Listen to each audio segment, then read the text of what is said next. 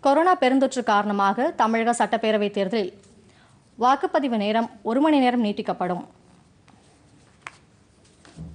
என்று தலைமை தேர்தல் ஆணையர் சுனில் அரோரா தெரிவித்துள்ளார். தமிழகத்தில் சட்டப்பேரவை தேர்தல் முன்னேற்பாடுகள் குறித்து இரண்டு நாட்களாக ஆலோசனை மேற்கொண்ட அவர் சென்னையில் செய்தியாளர்களை சந்தித்தார். அப்போது வாக்குப்பதிவு மையங்கள் அறுபத்தி எட்டாயிரத்திலிருந்து தொன்னூற்று மூன்றாயிரமாக உயர்த்தப்படும் என்று தெரிவித்தார். புதிய வாக்காளர்கள் பெண்கள் மாற்றுத்திறனாளிகள் மூத்த குடிமக்கள் ஆகியோர் அதிக அளவில் வாக்களிப்பதற்கான அனைத்து நடவடிக்கைகளையும் தேர்தல் ஆணையம் மேற்கொண்டு வருவதாக அவர் கூறினார்.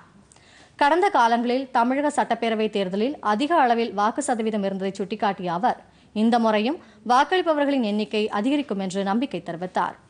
அரசியல் கட்சிகளுடனான கலந்துரையாடலின் போது ஒரே கட்டமாக தேர்தலை நடத்த தமிழக அரசியல் கட்சிகள் வலியுறுத்தியதாக அவர் கூறினார். துணை ராணுவ படையினரின் எண்ணிக்கை அதிகரிக்க வேண்டும் என்று அரசியல் கட்சிகள் கேட்டுக்கொண்டதாக தெரிவித்தார்.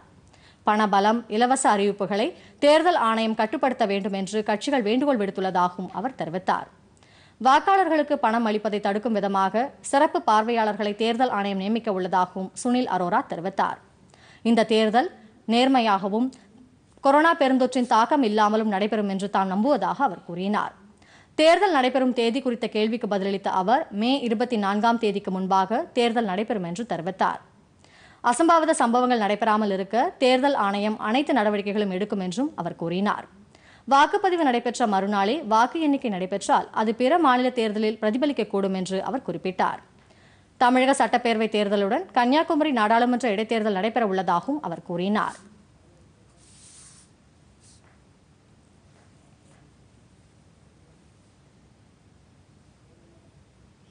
புதுச்சேரியில் சட்டப்பேரவை தேர்தலுக்கான ஏற்பாடுகளை தலைமை தேர்தல் ஆணையர் தலைவர்